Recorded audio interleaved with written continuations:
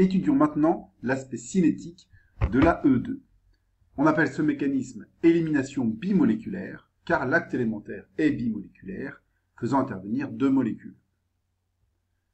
En appliquant la loi de Bantoff, on en déduit que la loi de vitesse sera V égale K fois la concentration en substrat Rx fois la concentration en base.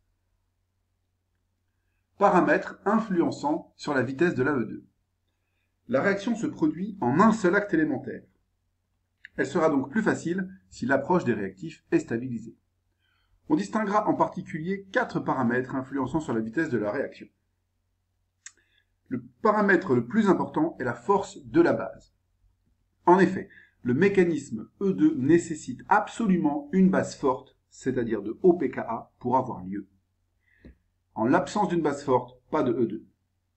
La plupart du temps, on utilise les ions hydroxydes, HO- de pKa 14, ou les ions éthanolates, RO-, qui ont un pKa entre 16 et 18. Le fait que la base soit encombrée peut être légèrement défavorisant, mais aura finalement peu d'influence, car l'hydrogène est en général assez facile d'accès. Un autre effet important est le chauffage. En effet, l'élimination est de façon générale favorisée thermodynamiquement et cinétiquement par un chauffage. Ce paramètre pourra être important si on cherche à favoriser l'élimination devant d'autres réactions par exemple. Enfin, la classe du substrat peut aussi avoir une influence sur la réaction, plus la classe de l'halogénoalcane est grand, plus l'alcène formé sera stable, et donc plus la E2 sera rapide. Cet effet est favorisant mais a une influence légère, c'est-à-dire que pour un halogénoalcane tertiaire, la réaction sera très facile, pour un secondaire, elle sera facile, et elle sera même possible pour un primaire, mais elle sera un peu moins rapide. Enfin, la nucléofugacité du groupe partant a une influence également. Plus le groupe partant est nucléofugace, plus la réaction est rapide.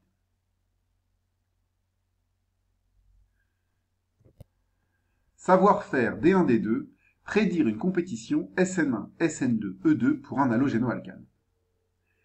La plupart des nucléophiles sont également des bases, comme les ions HO- par exemple. Il peut donc y avoir compétition entre la substitution nucléophile et l'élimination. À partir des paramètres influençant chacun de ces mécanismes, on peut créer un arbre logique pour prédire le mécanisme majoritaire. La première question à se poser est, le réactif est-il une base forte? En effet, si ce n'est pas le cas, alors la réaction de E2 est impossible. Il s'agit donc d'une compétition entre SN1 et SN2, et pour cela, on peut utiliser l'arbre logique que nous avons vu précédemment. Si le réactif est par contre une base forte, alors la substitution et l'élimination sont possibles toutes les deux. Mais la SN1 ne sera quasiment jamais la voie majoritaire. Ce sera donc une compétition entre la E2 et la SN2. Et pour savoir laquelle des deux sera majoritaire, on se pose la question de la classe du substrat. Si le substrat est un halogénoalcane tertiaire, la SN2 est impossible. C'est donc forcément la E2 qui aura lieu. Si le substrat est un halogénoalcane primaire, alors la SN2 sera très rapide et elle arrivera à aller plus vite que la E2. Ce sera le mécanisme majoritaire. Dans le cas d'un halogénoalcane secondaire, il peut y avoir compétition entre la E2 et la SN2 en général, c'est la E2 qui l'emportera. Mais il y a aussi des cas où la SN2 est possible quand elle est vraiment très favorisée. Je dirais ici qu'il s'agit de regarder quels sont les indices donnés dans l'énoncé pour trancher. Également à noter qu'un chauffage favorisera toujours une élimination. Donc si on a un halogénoalcane secondaire, il suffit de le chauffer pour être sûr qu'on va favoriser la E2 plutôt que la SN2. Application maintenant. Pour chacune des réactions suivantes, déterminez si le mécanisme majoritaire sera SN1, SN2 ou E2 en argumentant votre choix et donnez les produits de la réaction. Je vous laisse le faire sur le polycopier en mettant pause sur la vidéo et je donne les résultats dans quelques instants.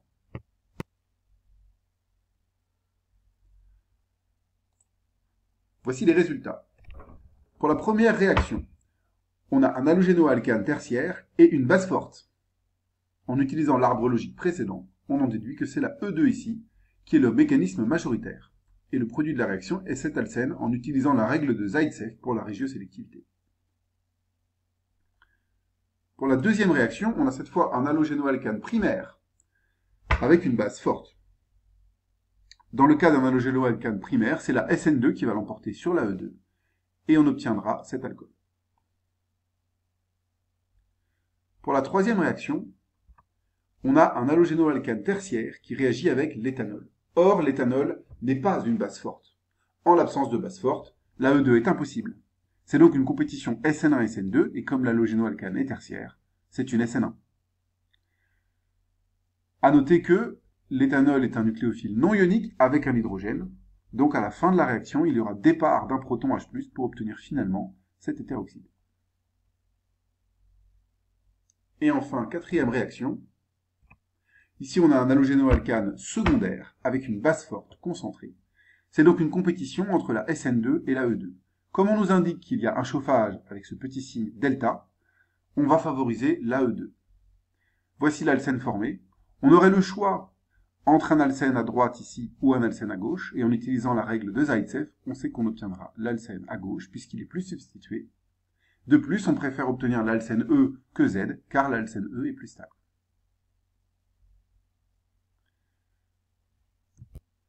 Passons maintenant à la deuxième partie de ce cours, substitution nucléophile et élimination sur des alcools. Les alcools sont de moins bons électrophiles que les halogénoalcanes, car le groupe hydroxyle, OH, est un mauvais groupe partant. En effet, H-, les ions hydroxyde, est une base de pK 14, et il faut être une base de pK faible pour être un bon groupe partant. Il est donc nécessaire d'activer les alcools avant de les faire réagir pour qu'ils aient un bon groupe partant cas de l'activation ex situ d'un alcool. Si on transforme un alcool ROH en un halogénoalcane RX ou en un tosylate ROTS, on obtient un nouveau substrat que l'on peut isoler et purifier et qui possède un bon groupe partant.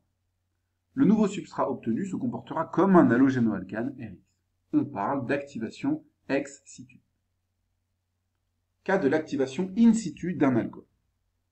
Si on place un alcool en présence d'un acide fort, en général, on utilisera l'acide sulfurique H2SO4 ou l'acide phosphorique H3PO4. Alors un équilibre acide-base s'établit entre l'alcool et sa forme protonée, l'ion alkoxonium ROH2+. Cet ion est un très bon électrophile, puisqu'il a un très bon groupe partant, H2O. Mais il ne peut pas être isolé.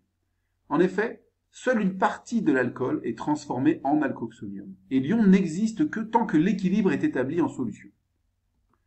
Toutefois, si l'ion ROH2+, peut réagir et être consommé juste après sa formation, alors cette activation sera efficace, car tout l'alcool sera progressivement activé puis consommé. On parle alors d'activation in situ. Exemple d'activation in situ d'alcool par un proton juste avant une substitution. Écrire les mécanismes des réactions suivantes, qui sont des substitutions nucléophiles, avec une première étape d'activation in situ. Je vous laisse écrire ces mécanismes vous-même. L'idée est que la première étape est l'attaque de l'oxygène sur un ion H+, pour former un alkoxonium, ROH2+, avec un bon groupe partant, et puis ensuite, il y a une substitution soit SN1, soit SN2, en fonction des conditions dans lesquelles la réaction a lieu. Mettez pause sur la vidéo et faites-le vous-même, je donne le résultat dans quelques instants.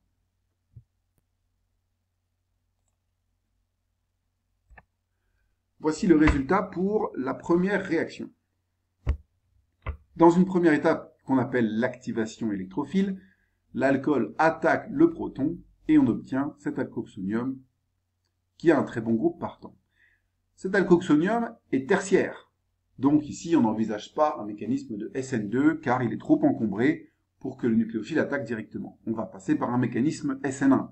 Départ du bon groupe partant H2O pour obtenir un carbocation, puis attaque du nucléophile sur le carbocation pour obtenir à la fin une substitution du groupement hydroxy-OH par le groupement cyanure-Cl.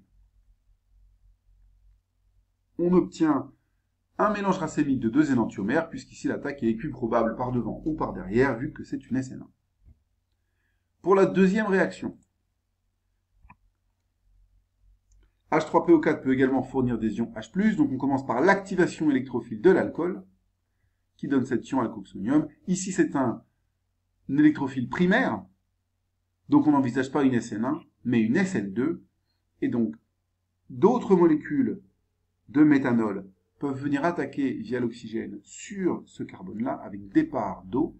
Ici, c'est une SN2 en une seule étape. On obtient ce produit-là. Comme il est protoné, on a un départ de protons pour finalement obtenir cet hétéroxyde. On voit que si on veut faire une activation in situ, il est nécessaire de se placer en condition acide, puisqu'on utilise des catalyseurs acides forts. Autrement dit, il est impossible de réaliser une élimination E2 sur un alcool avec activation in situ. En effet, on ne peut pas faire coexister un acide fort, qui est nécessaire pour l'activation, et une base forte, qui est nécessaire pour la E2. Ils vont forcément réagir l'un sur l'autre jusqu'à ce qu'ils soient entièrement détruits ou qu'il n'en reste que l'un des deux qui était en excès.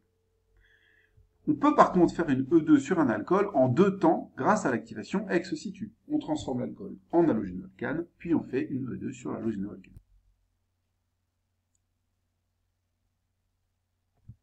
Savoir-faire A3, maîtriser le mécanisme limite E1, qui se produit uniquement pour les alcools dans l'acide. Si on place un alcool dans l'acide sulfurique anhydre, il peut subir une réaction d'élimination E1 selon le bilan suivant.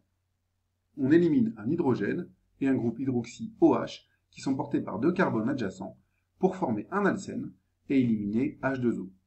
On appelle d'ailleurs des fois ce mécanisme une déshydratation. Mécanisme de l'élimination monomoléculaire E1. Ce mécanisme se produit en trois étapes et passe par un intermédiaire réactionnel carbocation. La première étape est l'activation électrophile de l'alcool. Le groupe hydroxy attaque un H+, et on forme un alcoxonium qui a un bon groupe partant. Puis, H2O est éliminé et on forme un carbocation. Et à partir de ce carbocation, on peut éliminer l'hydrogène qui est sur le carbone adjacent au carbocation pour former l'alcène, ce qui, en même temps, régénère le catalyseur H+, qui avait servi dans l'activation électrophile. De même que l'élimination E2, le mécanisme E1 est régiosélectif et obéit à la règle de Zaitsev. On obtient donc majoritairement l'alcène le plus stable, qui sera en général un alcène qui est soit conjugué, soit l'alcène le plus substitué par des groupes alkyles. En termes de stéréosélectivité, par contre, le mécanisme E1 est différent du mécanisme E2. En effet, dans le mécanisme E2, il y avait un état de transition avec une conformation antipériplanaire bien particulière. Ce n'est pas le cas dans le mécanisme E1, on passe cette fois par un carbocation, et dans le carbocation, il peut y avoir des libres rotations autour de la liaison simple, qui fait que la molécule peut prendre toutes les conformations qu'elle veut. Autrement dit, on peut cette fois former l'alcène Z ou E, même s'il n'y a qu'un seul hydrogène. On suit alors tout simplement la règle de Zaitsev, qui dit qu'on forme l'alcène le plus stable. On formera donc préférentiellement l'alcène E, plus stable que l'alcène Z, puisqu'il a moins de répulsion. La réaction est stéréosélective. Application. Représenter tous les alcènes que peut former la réaction E1 suivante et déterminer lequel est majoritaire. Je vous laisse le faire sur le polycopier en mettant pause sur la vidéo et je donne la solution dans quelques instants. Voici la solution. À partir de cet alcool, on peut former quatre alcènes différents. Premièrement, on peut former deux alcènes à droite, ici, en arrachant l'hydrogène porté par ce carbone, soit l'alcène E, soit l'alcène Z.